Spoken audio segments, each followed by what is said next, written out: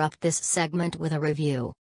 Anaj from Chalkola Arts, a family run company producing chalk markers, reached out to me back in March to provide feedback on their product. They sent me a package of 10 chunky markers with 6 metallic markers to try out. They can be found on Amazon if anyone is interested. Anaj described the, the markers as being great for any kind of non porous surface, like chalkboard, windows, labels, jars, paper etc. I bought a whiteboard to try it out. The instructions told me to shake the marker for 30 seconds. Then to press the tip on a flat surface until the product comes out.